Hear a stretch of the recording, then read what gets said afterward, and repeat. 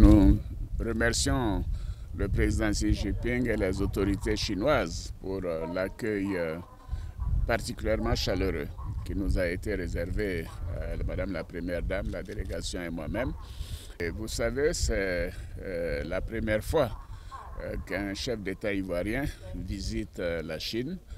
moi, j'en suis personnellement à ma quatrième visite depuis mes différentes activités.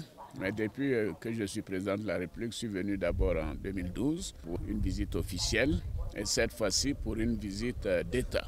Visiter la Grande Muraille, euh, c'est un privilège parce que vous savez, c'est une œuvre qui a pris des siècles, qui a des, tonnes de pierres, qui comprend des milliers de kilomètres pour la protection pendant donc des siècles. Et euh, c'est quasiment, je crois, 9 millions de visiteurs euh, qui viennent par an, dont 8 millions de Chinois.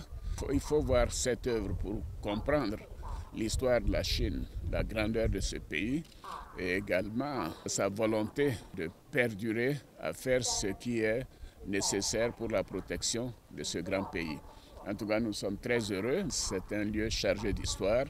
Et la première dame et moi et la délégation, nous tenions à venir ici.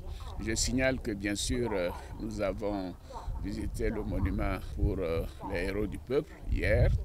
La première dame a visité la cité interdite. Entre-temps, nous, nous avons fait un sommet ivoiro-chinois euh, qui a donné des résultats spectaculaires. J'aurai l'occasion d'en parler à mon arrivée à Abidjan. Et nous avons eu également, euh, bien évidemment, des rencontres, aussi bien avec les grandes banques chinoises qu'avec euh, euh, les entreprises chinoises. Et nous avons à partir de demain, lundi, le sommet Chine-Afrique, qui sera un grand moment. Nous sommes heureux de passer cette semaine à Beijing.